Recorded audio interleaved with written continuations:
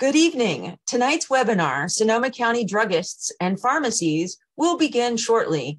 We have just opened up our Zoom doors and allowing our participants to enter our room. We are also being joined by our Facebook Live participants watching us simultaneously on Facebook Live.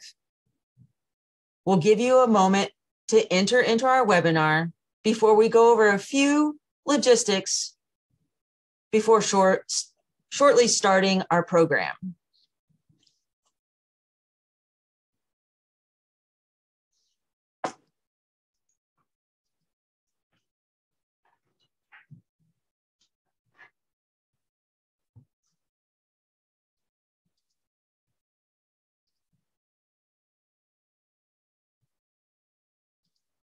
Good evening and welcome to tonight's program. The Historical Society of Santa Rosa is proud to bring you our monthly webinar series, which I have to correct that real quick. It was monthly last year. We went to every other month, and we've got some exciting news at the end of this webinar to share with you. So we hope that you join us throughout. Tonight, we're bringing you Sonoma County druggists and pharmacies featuring advertising, bottles, medicine, glasses, photo- photographs, and local history. The presentation tonight will be by John C. Burton, and I'll introduce him in just a moment. We want to make sure that you realize that this is a fantastic book that you can get, and it it's based that this presentation is based on a fantastic book that you can get by none other than Frank A. Sternad and John C. Burton.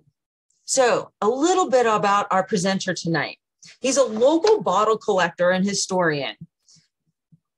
And he'll be presenting highlights from his book, as well as he had Frank A. Sternad help him to write the book about Sonoma County druggists, featuring advertising, bottles, medicine glasses, photographs, and local history. The book is a collector's catalog featuring history and photographs from the 1850s through the 1970s of Sonoma County druggists and the bottles that were used in their trade. John is a bar management consultant based in Santa Rosa, assisting bar owners in setting up and furnishing establishments and providing curriculum development for bartending schools across the United States. John has been active in publishing and developing bar management publications, as well as authoring a book and regular columns directed at working bartenders. He's a member of the Northwestern Antique Bottles Collectors Club and an acknowledged authority on Santa Rosa's Grace Brothers Brewery.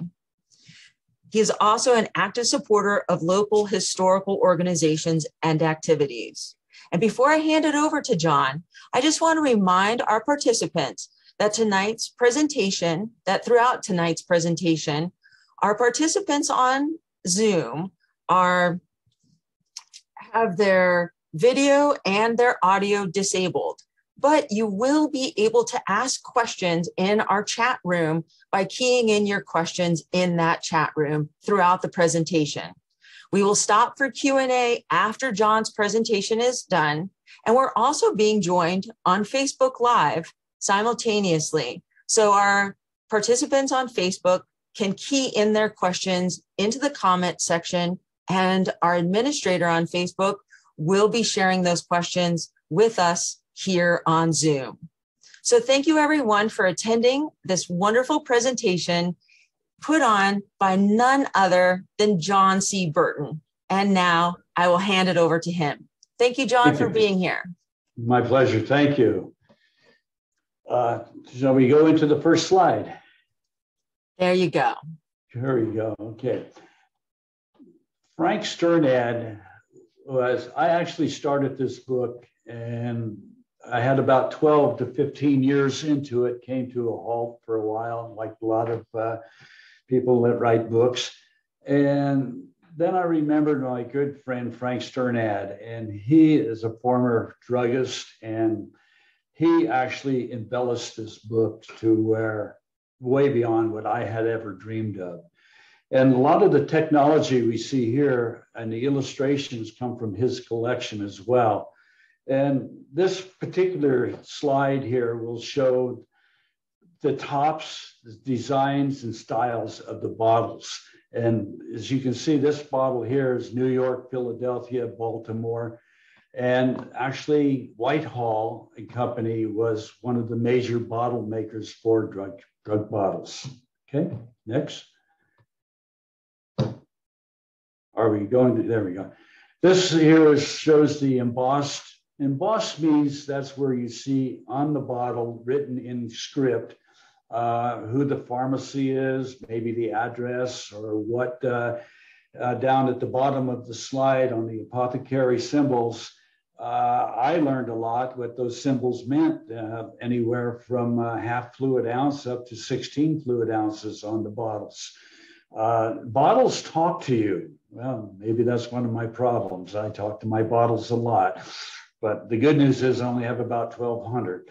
So I learned a lot with Frank. At, uh, you can see the symbols, the one ounce bottle, the two ounce bottles, just by the abbreviations on the bottle. On the bottom, many times it had the manufacturer, uh, the patent date of the bottle as well. So that's how we, as uh, collectors, get to take and figure the year that these bottles came out. Next, please. Dose glasses. Well, if we were in the bar business, the upper left, that would be called a shot glass in my business. But in the medical field, that is called a dose glass. And a lot of the local pharmacies in Santa Rosa, uh, as well as Petaluma and other count, uh, cities in our county, the druggists would give these out as advertisements, just like in the bar business, they would give uh, tokens out to get you back into your into their store. Well, the same thing happens here. Is that you kept this dose glass from your particular druggist with their names on it. It was their best advertisement. The bottom dose glass, medicine glass, is actually much rarer. And I was very fortunate to get one with Hahmann Drugstore on it about uh, six months ago off of uh, eBay. And uh, so it's one of my prize uh, uh, possessions that I have as well. Going to the next, if you would. Shows uh, more medicine glasses. the bottom three, well, we see Petaluma uh, the book tonight, we're really focusing on Santa Rosa, but the book does encompass uh, Guerneville, Geyserville, Petaluma, Sonoma, all cities in the county. But uh, Santa Rosa is our main focus for this evening. And dose glasses are extremely rare, very rare.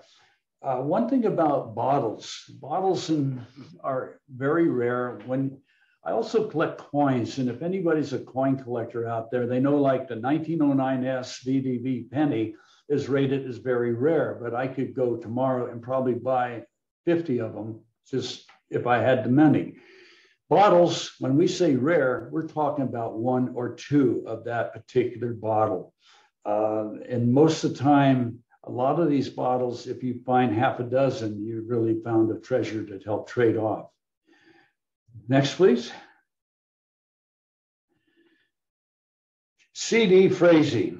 He was one of the earliest Santa Rosa uh, druggists that uh, put together a lot of bottles. Uh, he was easy to follow. The Press Democrat and the Sonoma Democrat uh, today give so much information online. When I first started this, I had to go through the microfiche and you would walk out of the library dizzy from that. But today you can go online, California digital newspapers, and just about pick up anything you want. It's a fabulous business that they offer.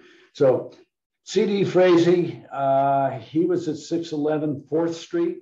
However, one thing to relate when you do history in a town like Santa Rosa, uh, it might be 611 4th Street in 1884, and the addresses do change with time because of the 1906 earthquake, uh, which definitely uh, changed a lot of addresses. But the city also changed the names of streets and the addresses, so you really have to follow through when you're doing the history. And if you go to the next, please. Here's some of his bottles. You notice they're all the same style. Uh, they were just different uh, sizes. Uh, the embossment up on the top where you see that script there was C.D. Frazee. That's an F in there, not a T. And uh, everybody had their quote monogram. And of course, he had his chemist.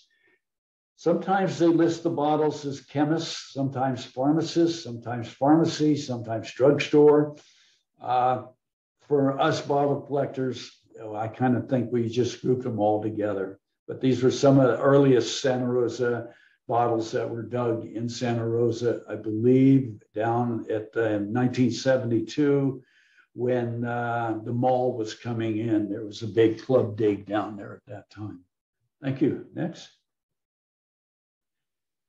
Here we go. Here's what we we identify and catalog the bottle on. We see the monogram as C.D. Frazee, uh, Chemist, Santa Rosa. We, it's a clear oval shape, tool top, uh, and then the height. There's four and three quarter inches tall, there's five and three quarter, there's six inch. And those were clear bases, uh, or they might have had a base with the Whitall on the bottom of it and then the H normally came from a location where the glass factory was located. And then the one that I also have is six and three quarter inches tall. On the base, it just says four. Uh, and you, you can just about make anything out of that number that you really choose to make out of it. Thank you. Hahmann. Oh, Paul Hahmann, probably one of the most famous or recognized local uh, druggists, pharmacists. Uh, this particular photo here is where there is urban renewal taking place right now at Courthouse Square, right next to where the uh, Exchange Tower is with the bank with the tower. And Hahmann, uh, I believe the Hahmann family still quite uh, involved in Santa Rosa locally, descendants. And we have a lot of items from there, and they just started locally. I would say eight months ago when they started to dig up that site. I have some friends that are also uh, metal detectors, and they went and pulled some early coinage off of that property as well. You know, so we're not just bottle collectors. We get into tokens, we get into coins, we get into any artifacts as possible. Thank you. Next. Here's the Occidental Hotel, circa 1908, Belden and Up's drugstore. It's on the left of side of Keegan Brothers. Keegan's was very big even when I just came into Sonoma County in 1954. They were located at 443 4th Street. And Belden and Up also uh, were in Guerneville as well. And then Up also was into Graton. There is a bottle of Up's drugstore out of Graton, which is extremely rare. It's a paper label. And as you would imagine, paper labels don't survive that well. Uh, as collectors, when we get paper labels, we normally get them out of walls. In other words, back in the days when the carpenters were building these homes and offices, uh, at the end of the day, they would put their beer bottle or any other bottles or artifacts in the wall then sheetrock over it tomorrow. And that's uh, with urban renewal, how we find a lot of uh, uh, rare things at that particular time. Beautiful downtown Santa Rosa. You know, you look at that and it's just, I look at Santa Rosa today and it's certainly a different Santa Rosa by all means. That's why the i am so strong with the Historical Society to keep this alive.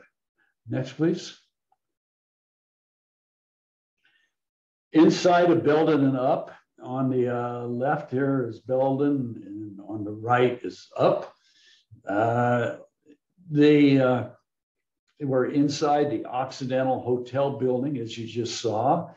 They sold to Walter Claypool. Uh, and as we progress, uh, uh, Claypool, when he passed away, his wife took it over, and she was one of the actually the third lady pharmacist in the county. Uh, the first one was in uh, Sebastopol, and then Healdsburg, and then Santa Rosa. And you just look inside these stores, they're so magnificent compared to what we see today, starting with the counters with all the display. uh, again, they had a branch store in Guerneville in 1910 to 1915. Excuse me. Thank you. Next. Here we are in the family drugstore of Paul Hahmann, the first photo that you saw. Notice how they're dressed. I mean, compared to what we see today, there's just no contest. You know, uh, everybody today go to some of these stores, looks like they just got done gardening and came to work. Whereas these gentlemen are truly made for the business. It was the gentleman's world in that day uh, because everybody was a more of a class act. But look at all the product and look at the display cases. Uh, they're fabulous display cases. On the bottom left, or excuse me, the bottom right, I have a display case like that in my house that uh, Sonoma County Library was going to throw away, but I salvaged that and it's in my home and I just treasure that. Look at all the bottles on the top left. It's just, uh, and these gentlemen, they didn't just, uh, they had to have the knowledge to make the prescriptions. They had to follow through on that. Uh, they were the artists, they were the chemists as well as out at the front counter. Thank you. Next.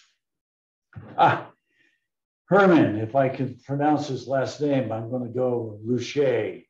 He purchased the Goldberg drugstore. I was amazed how many drugstores we had in Santa Rosa with various names. And uh, in that time, drugstores also sold alcohol, strictly for medicinal, of course. But uh, Henry here, or Herman Henry, he uh, actually uh, was indicted for uh, selling alcohol during Prohibition. During Prohibition, you know, we remember we had the bootleggers, and uh, the word bootlegging comes from basically the women would traffic the alcohol to their clients and I believe you call them like a pedal pusher type of pants with pockets in them. And that's where they put all the pints of alcohol in them. And you had to get a license from him, which was $2.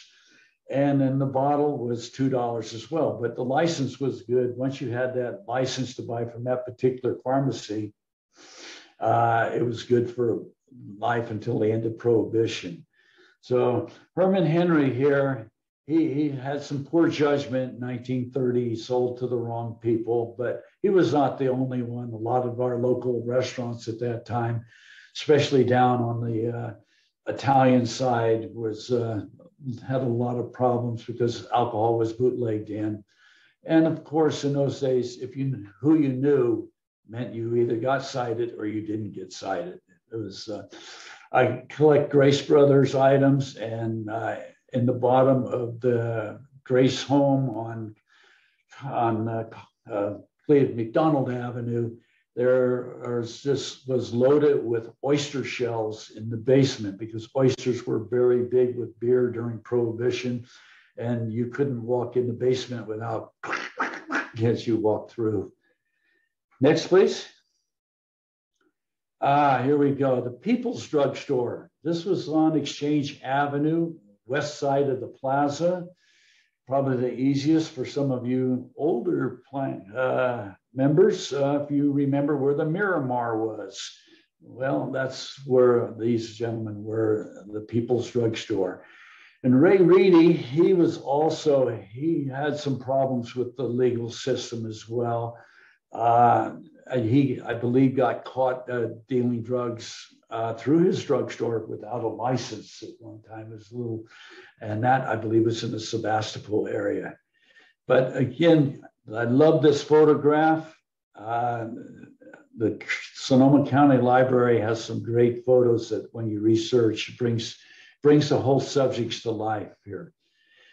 Uh, you can see the People's Drugstore in the center And on the far left, you can see the sign for Paul, I believe it's Hahmann there on the drugs on the far left. And please notice the small building there on the right. Uh, I have to get a little closer. I don't have my glasses on, but that's uh, where the uh, right next to it where the people says that's where it's being dug up today. Next, please. Uh, you mentioned, uh, Leslie, that you lived in this St. Rose area. Well, it took a heavy hit during the earthquake in 06. And this was the St. Rose drugstore. And believe it or not, it's one of the few buildings that, quote, survived uh, in Santa Rosa during the earthquake. Uh, 95% of the businesses, I believe, were destroyed in Santa Rosa. Santa Rosa took a hit worse than San Francisco did on the earthquake because we got the whip of it. San Francisco, the big problem with, was, of course, the fires. But uh, in Santa Rosa, the St. Rose, and, and at this particular time, a lot of the St. Rose bottles that we find are all cracked, broken. It's a very rare bottle to find. Yes. Next, please. Inside here, William McKay Stewart, uh, he was the proprietor at the time. And this is what it looked inside of that uh, drugstore. Pretty similar that they all had pretty close to the same design, very long, narrow buildings, uh, cabinetry on both sides, and of course, well-dressed people. Now you see that lady in there, and I should have done a little research before I got here. She was the sister-in-law of Stewart, and she was also a druggist in Sebastopol, one of the first that we had, uh, ladies there.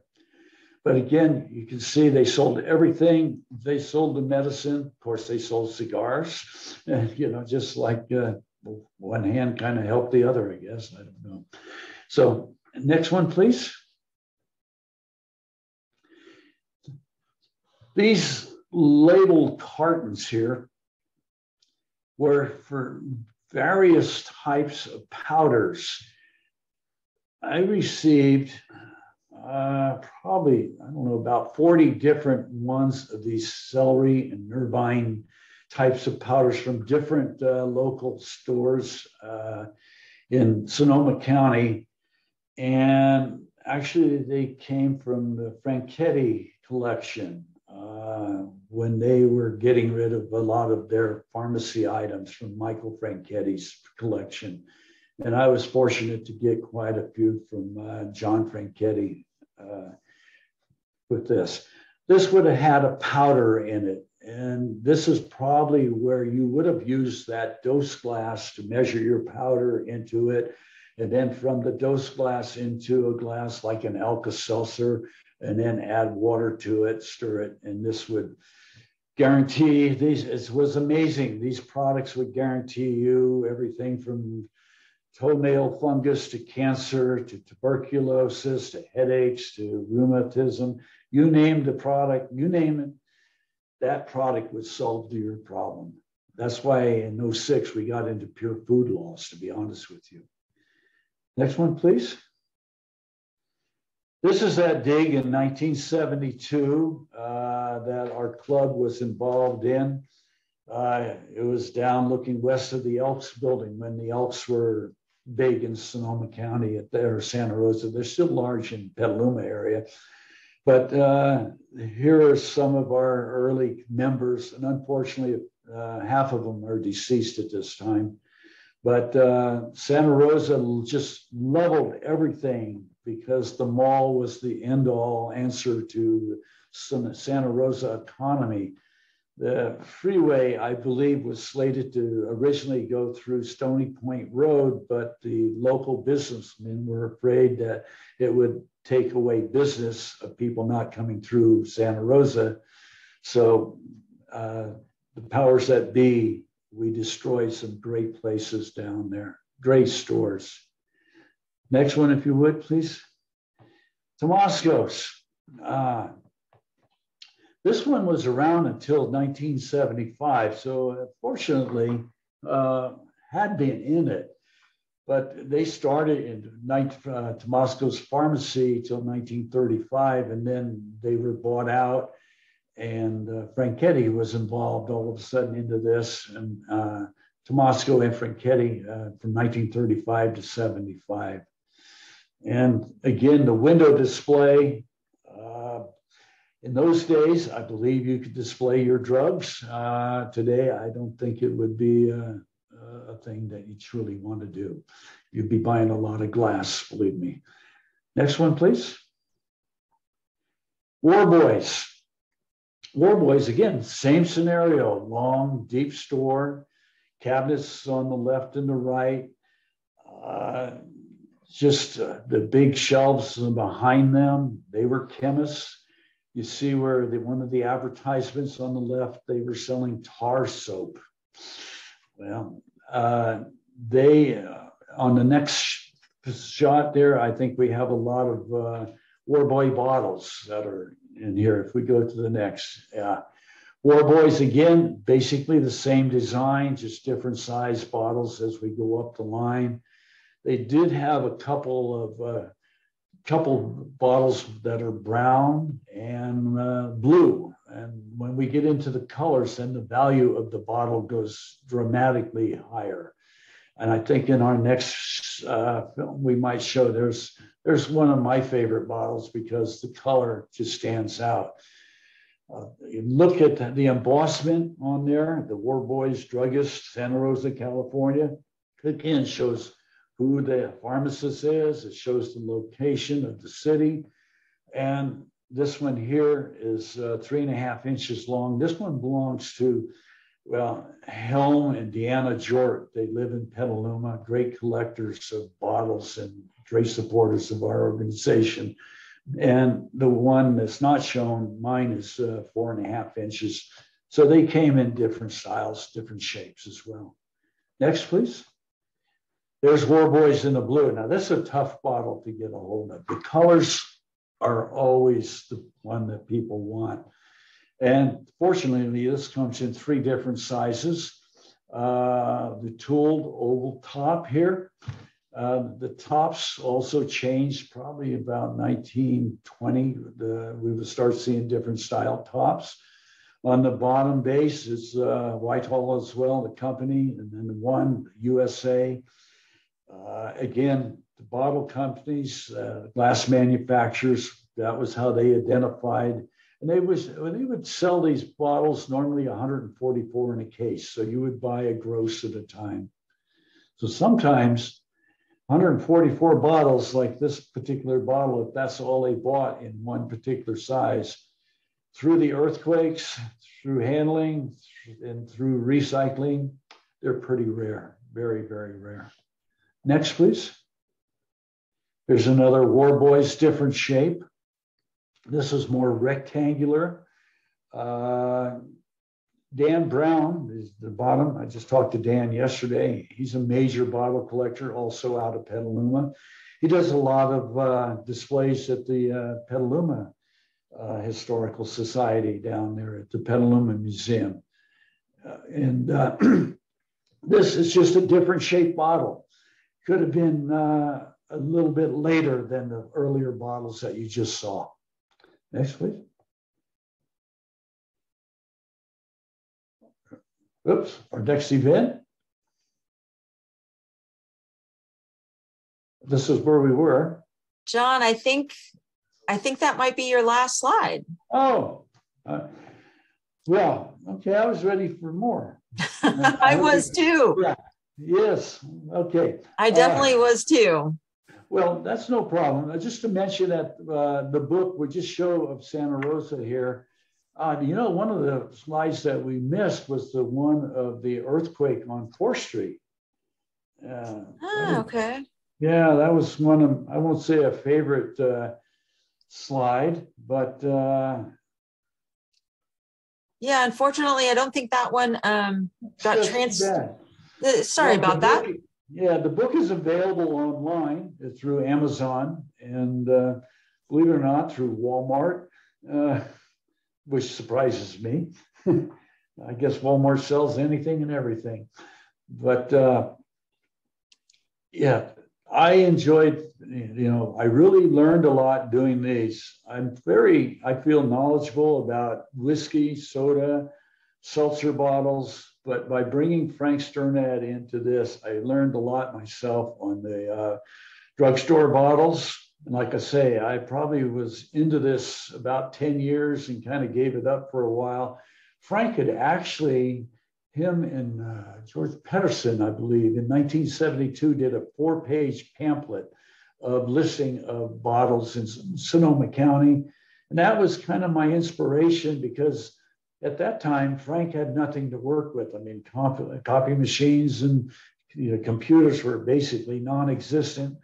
And he really increased this. There was some great photos that we that are Franks that are in the book that didn't show here tonight that I, I feel would have really enhanced a bit. Yeah. Well, John, this is just an amazing amount of information. And I, I didn't let you uh, know this beforehand, but I'm a little bit of a collector of the glass bottles that have been broken mm-hmm. and into yeah. the sea glass. Um, and of course, you know, the color on sea glass, uh, those colors are um, always more sure. desirable as well. But as I look at this, boy, I tell you, it, it breaks my heart to know that so many of these bottles were broken, whether it be uh, in the earthquake or you know maybe by use or uh, you know recycling, like you said. Or, yeah, yeah, and ending ending up in our in our landfills, which you know then end up sometimes right. on our on our beaches and whatnot. Those pieces. Uh, it's it's wonderful to know that yourself and Frank and uh, Dan Brown that you mentioned and and many others. Richard Siri, Rick Siri. Yeah, have John these collections. Yeah. How many how many collectors would you say are here in Sonoma County? You know, there's a lot of closet collectors, ones that okay. don't join the clubs and uh, Donna Boren, I see, is uh, just made a notation there. I love her, former mayor of Santa Rosa. And uh, I always appreciate she gave me a Grace Brother coat. So I have to mention that, one of the driver's coats. Terrific lady, uh, terrific lady. But you're right. Uh, as number of collectors, our club is about 30 members that are regulars. And I would say when we go to flea markets, garage sales, estate sales, we run into another 50 plus. Uh, yeah. There will be, there's actually a bottle show in Antioch this Friday and Saturday. And a lot of our club members set up and sell their duplicates there. And then on Sunday, there's the Petaluma Street Fair, which is big. It starts at eight o'clock, so we'll be there at five. And uh, that's the way it is. You get there very early or you just don't go. And uh, so that's how we find most of these. Uh, but street fairs are good, antique shows, bottle shows. I do well on bottles at uh, uh, beer can shows. And because beer can shows kind of a go with there's not many bottle collectors. Where bottle shows i do well getting beer cans. So kind of going against the grain at both i do well. And uh, beer cans i collect grace brother beer cans and i have pretty much the whole set of them oh that's great well let me you know the questions have been piling in here they're just Good. in so let me I get I can a, answer them as best yeah let's get to a few of these questions we've got Sharon Ennis is here, and she's over, I know, uh, over in the West End area. And she said that she dug up a bottle uh, in her backyard. Uh, it was embossed with Hamlin's Wizard Oil. Do you have any information about Hamlin's? Well, if you want to give out my email address, I'll be happy to trace down anything. You got to remember on uh, what's where she's on the west side. Yeah, that uh, the West End neighborhood, I believe. Okay, relate there. That's an early site, and the trains were going through there. So we have a lot of bottles that uh, are quote thrown away or brought into that particular area. That could be from Philadelphia, New York, San Francisco, because it was a train stop. and everybody got off there. And unfortunately, their garbage was thrown on the side or somewhere. And I would imagine if she dug up the one bottle, if she dug a little deeper, she'd probably find a few other bottles as well. There you go. Yeah. yeah. And but send me an email. We can uh, we can trace that down pretty easily. Oh, John, what is your email address if you'd like to share? Do you want to share that email address with everybody? Sure, please. Yes. Okay. And um, I have your email address, so I will be while you're answering the next question, I will be entering that into our chat so that everybody can see it. That would be um, but I'll I'll get you started on the next question here. It's from Karen Stone, and oh. um, oh. wow, she has some she has some information I think that you're going to love. Uh, okay. Uh, she said that she uh, inherited a fair amount of pharmacy memorabilia from her father. Now, uh, that actually Karen is relating some information from an email that she got through the Historical Society of Santa Rosa. So it's not Karen's father, but it's a, it's a person who uh, wrote in this email saying that she was the daughter um, of a pharmacist and a partner of the Tomasco drug wow, and the Franchetti. Yes. There you go. So this person inherited a fair amount of pharmacy memorabilia from their father and some date back as early as the 1900s um, or the in the early 1900s and she considered donating to the sonoma county museum but was kind of tipped off that they might sell some of these instead of uh, exhibit yeah, yeah. Uh, so she would love yeah. to see it all stay together and if possible um, you know have it to have it be with someone that loves it um, some of what she has, just so you know, the scales and weights. See, that's my front room. If you can see it. Well, you said you had twelve hundred bottles, right? Yeah. Said? Uh, five um, bedrooms, wall to wall. Uh, it's pretty. We love them, but she's exactly correct. I back in '75 to 1980 donated some Luther Burbank items to the uh, Sonoma County Museum, and they sold them and in 1985, uh, Richard Siri, myself, and other collectors, we did a display at the Sonoma County Museum for about three months. And when we went to pick our stuff up, some was missing, some was uh, broken. And I don't really, I know that's 30, 40 years ago, but it's still uh, us collectors, we just shy away from them. Uh, we do put on displays. Uh, that's the neat thing. Uh, we put on displays, local displays. And someday, in all truth, with this organization, I would love to open my house up uh, to uh, come and view. Uh, it's a museum. I've had the uh, Antique Roadshow through the house. I've had San Francisco Historical Society, Sonoma County, Marinka, you name a museum, historical society, they've gone through my home, and uh, it's it's a hard house to dust. Let's put it that way. oh, I can see you spending a lot yeah. of time doing that, John. I think you'd rather go out yeah. and hunt hunt the bottles than dust the bottles, right? Yeah. And the other thing is, is in her situation, I would be happy to come over and just evaluate it for her uh, if she chooses to sell it, and there's always buyers. Or if she wants to donate it, we can find the right place for it to go as well.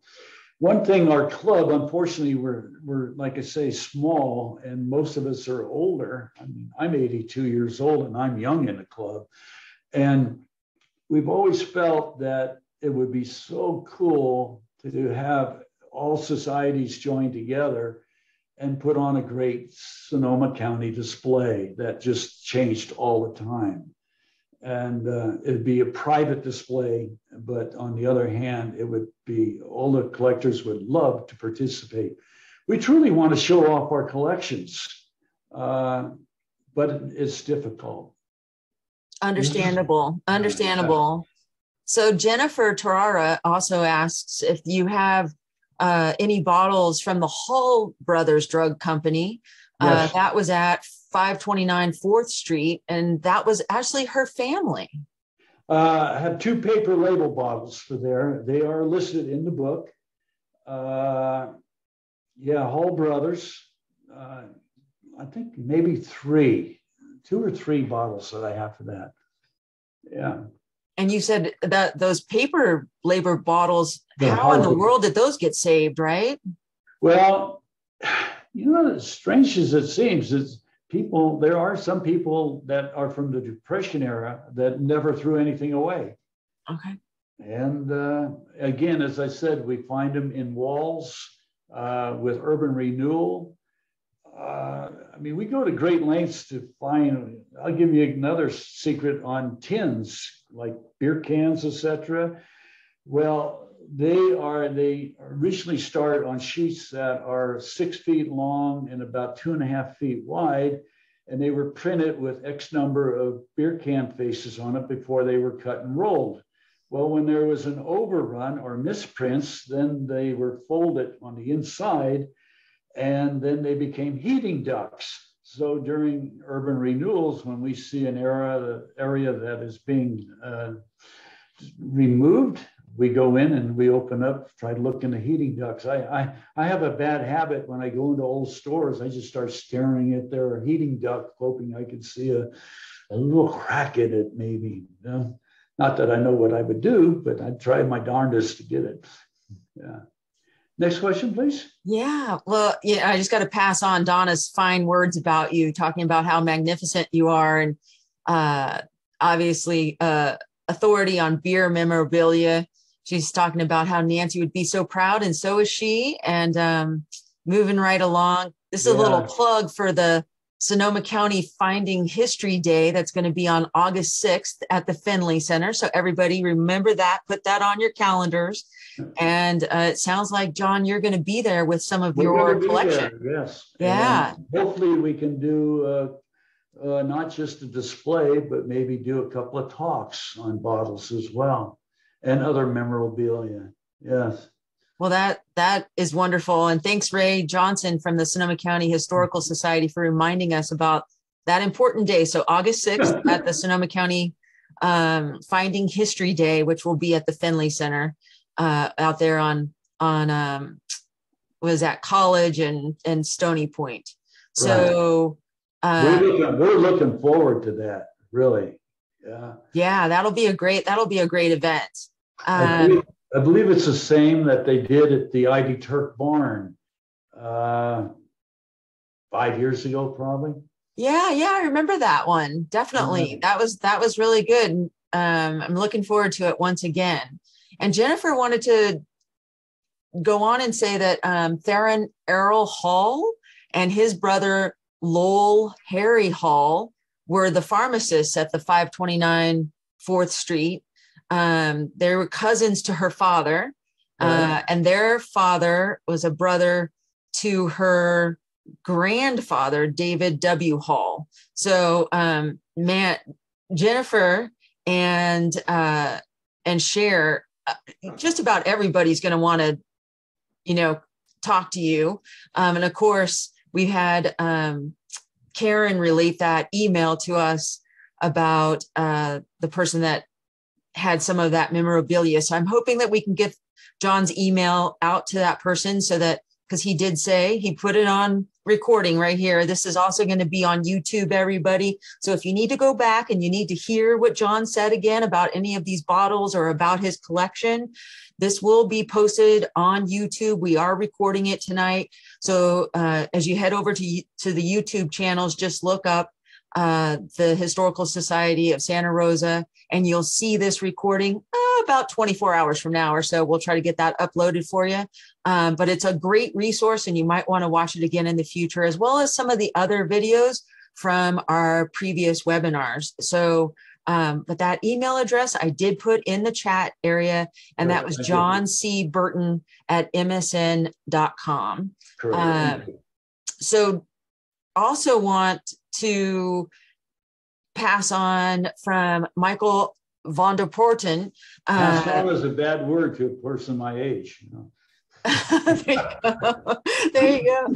Uh, but I'm, I, you're probably familiar with Michael, um, Michael von der Porten. Right. And in Healdsburg, Frank Korick was the partner in the pharmacy business with Percy and then Meese. Um, are there any bottles known from those firms that you There are are, aware of? yeah. Okay. Actually-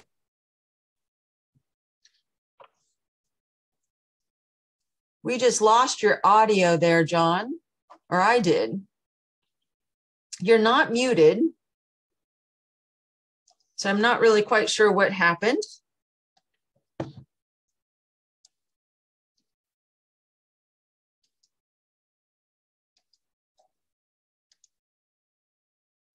Everybody, we're going to wait for John to get back up.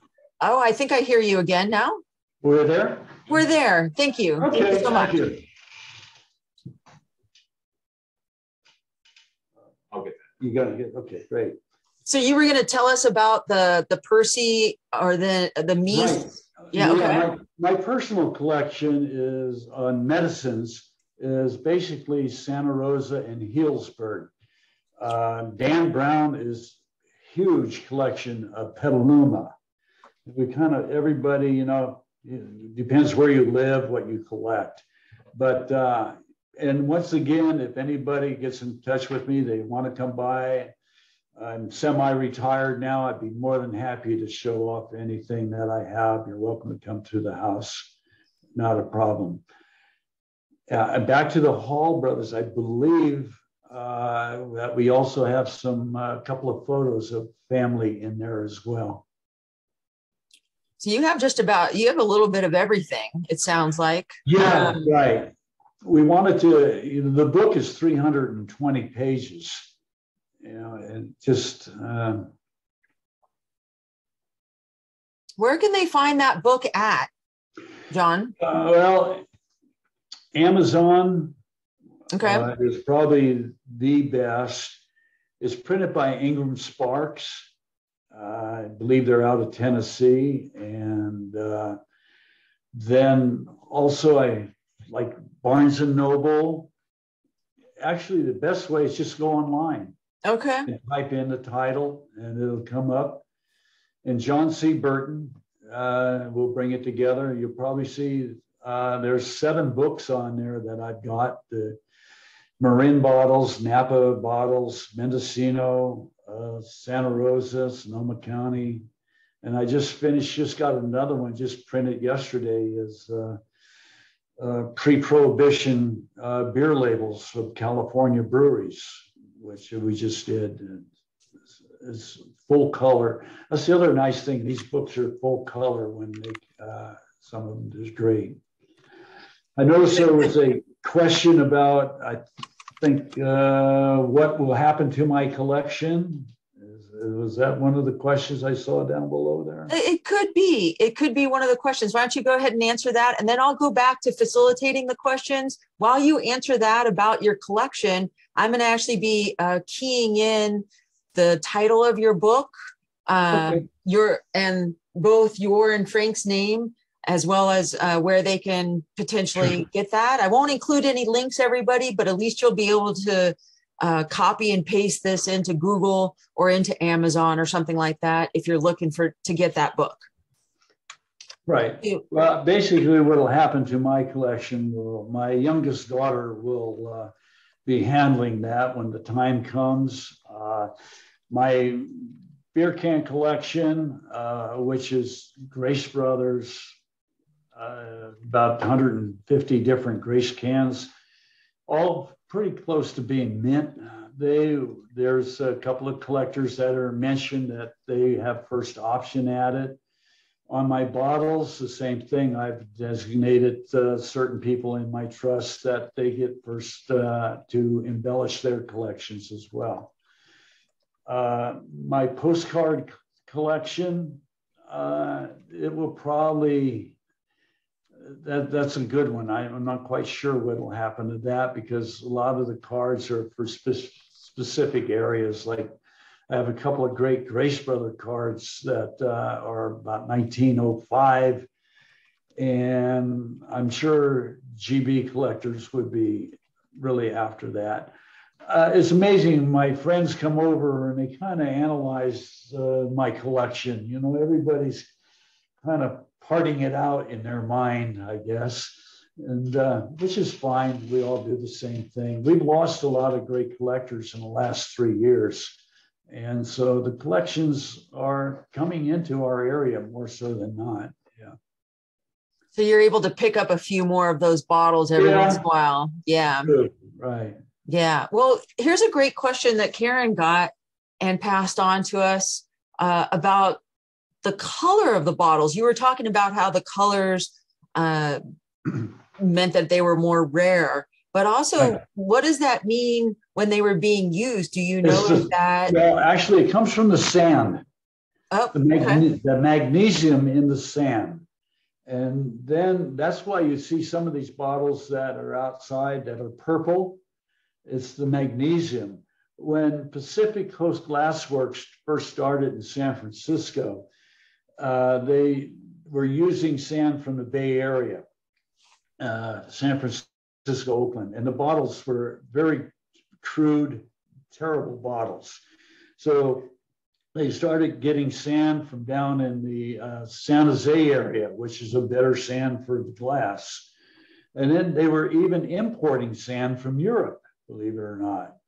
And so it is the components of the sand will take and make the color of the bottle. Now, do you know if the color of the bottle differentiated if it was a harmful substance in the bottle it was a what? I'm sorry. So if let's say that if you had a harmful sub- substance, would that be in a more colorful bottle? Let's say. Oh, I'm. Uh, it was just a sand color that worked.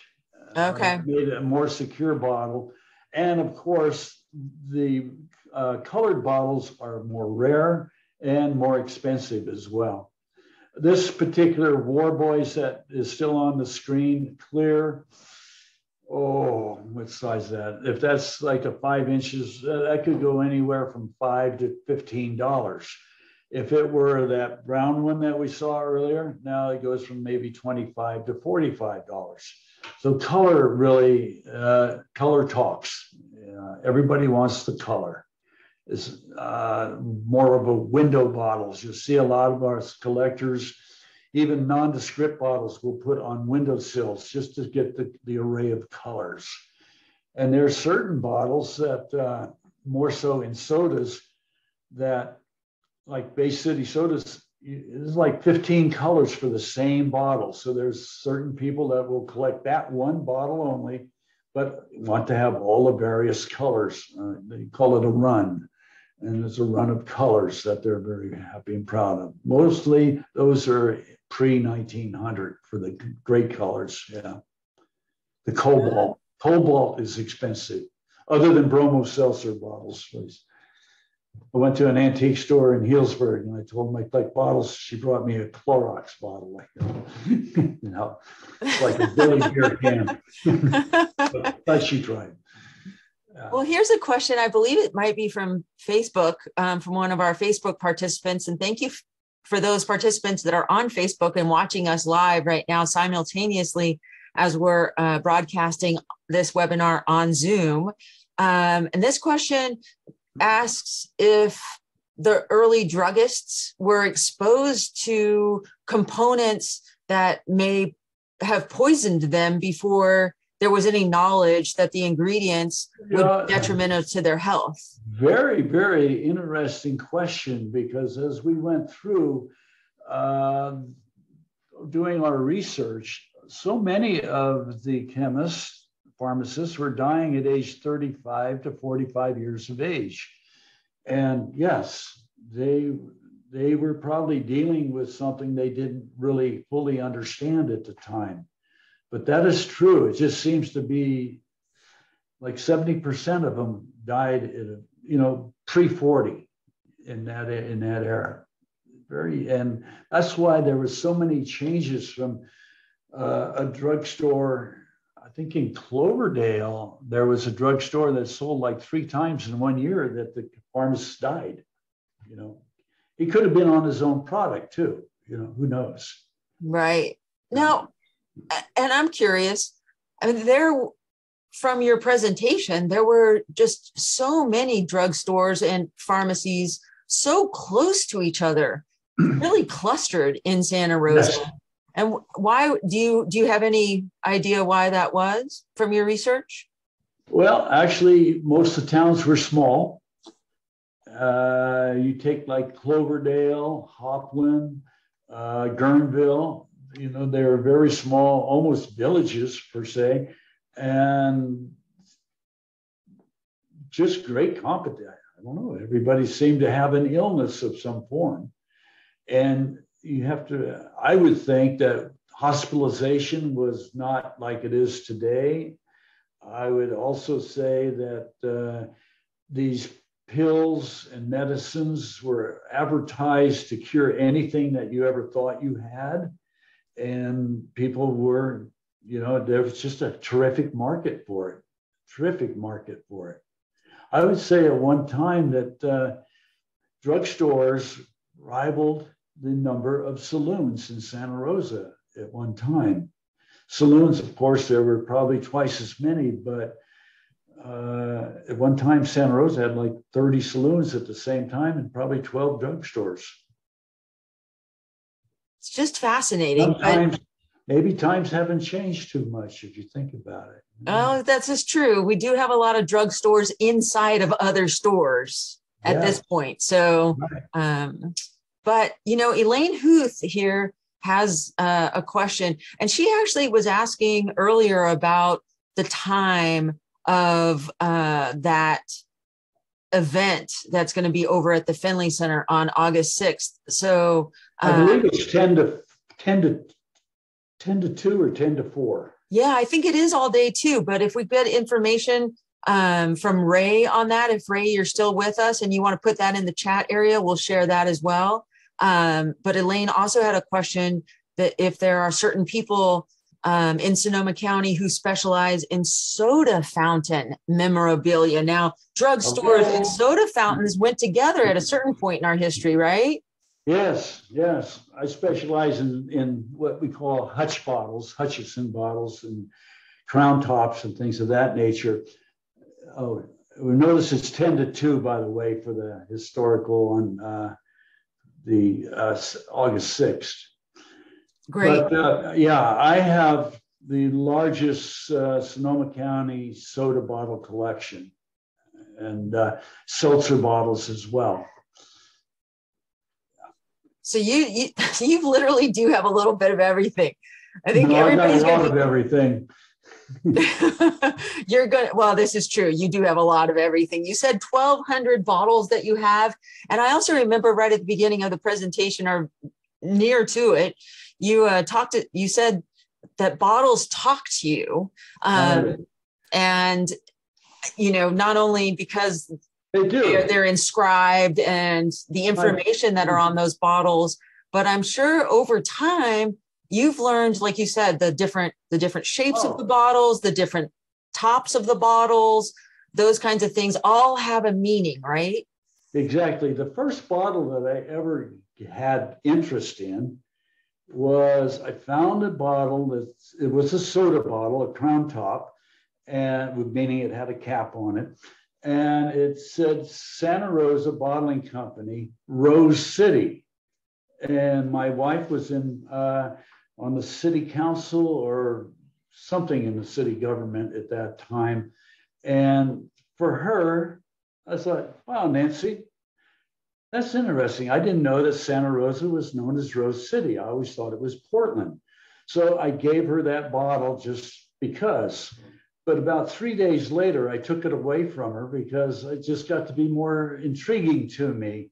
And from that point on, I just bloomed. I saw another bottle, and then I all of a sudden started learning the history of, of my area, Santa Rosa. And then, of course, it expanded to other cities in our county and into, into San Francisco as well. I also, I just sold to the United States Bartenders Guild. I had uh, the second largest collection of antique bartending books in the United States. And at this point, but a lot of them were acid paper. So it was for me, a good time to get rid of them because acid paper starts to crumble. But I had the first bartending books ever came off the printing press back in the 1860s, and even one 1841, which was nightcaps. And so I've just always expanded. I attended bar at the Flamingo in Santa Rosa, and that's where I met Tom Grace in those days and the Grace family. Uh, then I went, uh, worked for Cotting at bar he had in Cottingtown for a couple of years. But Los Robles, Klaus Newman purchased it, he and Tony Vicini. And I went begrudgingly there. It wasn't my style of place, but I only stayed about 29 years because it was just something that, you know, I experienced that became terrific. But my customers were all older and talking about the county, and it just drew an interest into me. And of course, then I met Gaye LeBaron, and then you know you might as well throw dynamite in the fire there because it just went wild when I met her and, and started listening to her and seeing the photographs of her husband John from his collection and her books, and then uh, Dee Blackman, who they wrote the Santa Rosa books, and it just expanded. I, I was very fortunate. Uh, we did a lot of caterings from Los Robles, so I was lucky to do uh, be kind of in charge of catering. So I got to go into all the old homes in Sonoma County, Santa Rosa. We traveled all over, and I just put all that at that time, kind of making mental notes, and it just bloomed from there. And I'm glad it did because I feel that myself, you, Ryan, we all have to bring this together and keep this history going because that is part of our life. And they say things go in full circle, you know. So we've seen some of that, but uh, I just I love Sonoma County. I love the Bay Area, and uh, I just love tradition. You know, I think a lot of older people like tradition. The way it was is more important to us than the way it's going. So I have that. I, and I saw one, I think from Evelyn there about postcards, you know, or maybe she collects postcards. I've got some great Sonoma County postcards, and I know where there's a fabulous postcard collection of Sonoma and Marin counties. And someday I'm going to have to try to purchase that as, as well. So anything to do with the is with the county, I'm in there. Believe me, I love it. Yeah. Well, and that is really great. It's great to hear that story about that first bottle that you saw and how that yeah. really in, inspired you to, um, you know, discover the local history.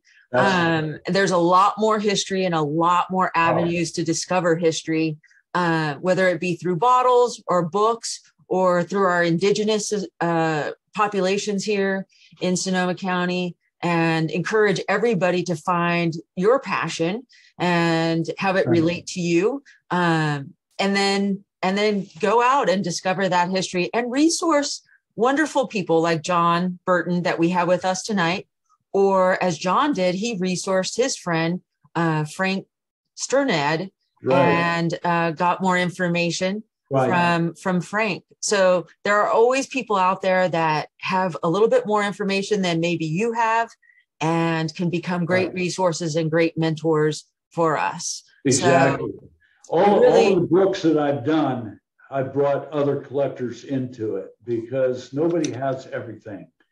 And especially knowledge. Everybody knows a part. And that's what I believe in is putting these books together uh, bringing in other collectors, getting them interested, and exposing part of their collection as well.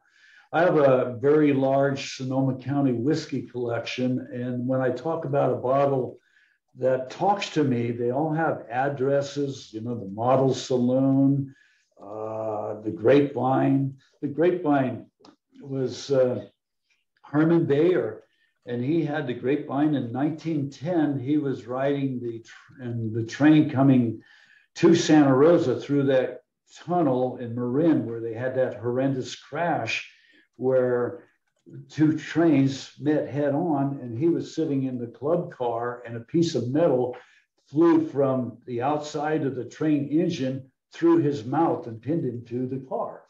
Yeah, a terrible way to go. But I mean, then then this bar was sold to Dan Picken. And then through the years, of course, we got prohibition. It became a lunch counter, and then it reopened as the bank club back in the day with Primo Rocco.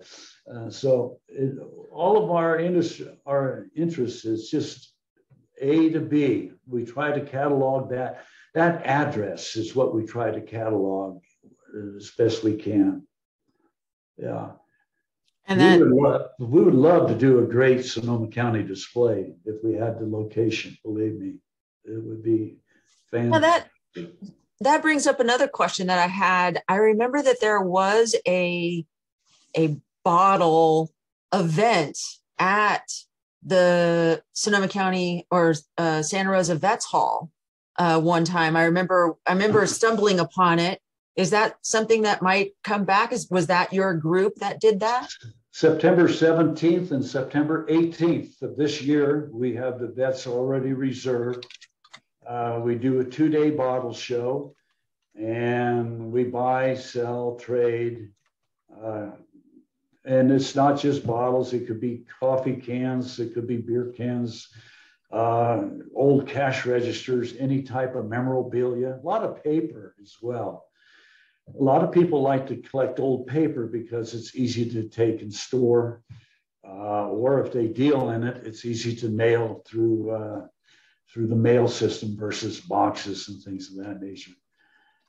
I mean, so, in your bottle collection group, what is the name of that group? Northwestern Bottle Collectors Association. Northwestern. Yeah, one word, Northwestern. Bottle Collectors Association. Right. And that's September 18th and 19th. It's a okay, Saturday everybody. and a Sunday, and Sunday is free. Oh, and Sunday is free. Yeah. You guys are too good. That is awesome. Well, I had just entered that information into the chat area. So September 17th and 18th, folks, um, at the Vets Hall in Santa Rosa.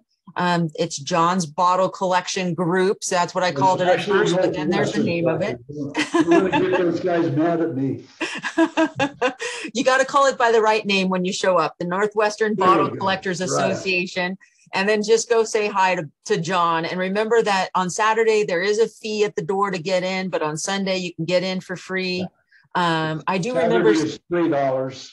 $3. Yeah. What a deal. Unless you have early bird, then it's 10. Early bird is from, uh, I believe, 9 to uh, 10 to 10 to 12 is early okay. bird. Uh, which is cheap. I mean, we go to a show in Las Vegas uh, they sell the tables for $500 per table for each collector to display. I mean, trade shows are not cheap for these uh, collectors. Well, and it's a lot of time and energy to get your whole collection together and then put it on display, and then right. and packing up and taking it home and driving. And you know, it's like Nick. Oh yeah. Week, yeah, a week from Saturday, I'm going to a beer can show in Sacramento. Uh, so I'm pretty active now that the COVID thing is lifted we're back in action. And then yeah. they raise the price of gas. But other than that, we're happy. There you go. There you go. And I'm sure it take I'm sure that you uh take care of your bottles. It, they're they're well wrapped in order to get them yeah, yeah. any well place. Yeah. yeah. Yeah. Well, it has been a pleasure, John, thank you. hear about your collection. And thank you so much for not only sharing your information with us tonight on this webinar, but also sharing your time and a contact information so that people can get in touch with you. Um, you're so open, you're cho- uh, very accessible um, for folks to get in touch with you. And thank you for passing right. your knowledge and your information on to others. Thank you. And like I say, if I don't have the answer, there's members in our club I can forward you to anywhere from marbles, which is glass. We yep. Indian, you know, arrowheads, marbles, all the way up to large jugs where, you know, beer kegs. There's, there's somebody that has the knowledge. Thank you. Well, thank you. And um, I know that everybody has a, a lot of great words to say, including Denise Hill. saying a great presentation. Cher was on earlier saying great presentation. Thank you, Jennifer, for saying thank you. Um, you know, this is something, again, I want to remind folks that this recording uh, of this presentation will be on YouTube. So you can access that by going to the Historical Society of Santa Rosa's website and finding their YouTube link there, which you can see now on the screen, the website address for the Historical Society of Santa Rosa, which I do have to mention that this presentation we would love for everybody to be members of the Historical Society of Santa Rosa. And you can uh, gain membership by going to the website that you see right there on the page. You can also access the newsletters and you will see information about upcoming events. And this is the exciting news, John. As much pleasure as it has been to be with you tonight via this virtual uh, platform, the next event for the Historical Society of Santa Rosa is going to be in person. It'll be the first in person event in well over a year. And that will be on June 4th at 10 a.m. And it'll be a tour of Juilliard Park and the Church of One Tree, uh, which is a fantastic uh, church uh, down which is now a building. Um, I don't believe that there is any church services in it, but it was the Church of One Tree. Um, and that will be with none other than Bill Montgomery, who is just wonderful. I'm sure he'll wear his top hat for that one and take everybody on that tour of the park and the Church of One Tree. So you can find uh, registration information about that on the Historical Society of Santa Rosa's website uh, coming up soon. So be sure to put that in your calendar and be sure to be checking their website. You can also check them out on Facebook. Uh, as some of you are watching this presentation on Facebook tonight. And thank you so much for joining us on that platform. So um, we will keep you up to date on the website as to more upcoming events because now that we have kind of turned a little bit of a corner on the COVID uh, pandemic as we know it and uh, being a little bit safer here we are able to open up some of these events. So we much appreciate all of your patience. We appreciate your patronage for coming to these virtual webinars, and we look forward to seeing everybody in person. I want to thank once again John C. Burton for your time and energy, knowledge, and information that you shared with us tonight. And Remind everybody. Um, yeah, we will be doing displays August 6th and should anybody want to bring anything there for us to evaluate, we'd be more than happy to do it. That's great because they can they can find you right there, August sixth at the Finley Center at the uh, Day of History, or the um, and that is through the Sonoma County Historical Society. And I bet you, I have no doubt, the Historical Society of Santa Rosa will probably be on a table right alongside you there, John. Um, making sure that folks know some information about Santa Rosa as well. I hope so. Yeah. Yeah. Yeah. So, uh, once again, next one, June 4th. It's a Saturday, 10 a.m. It'll be a tour of Juilliard Park and the Church of One Tree with Bill Montgomery. So, here's wishing everybody stay safe until then. We'll look forward to seeing you on June 4th. And everybody, have a great evening. Good night. Thank you.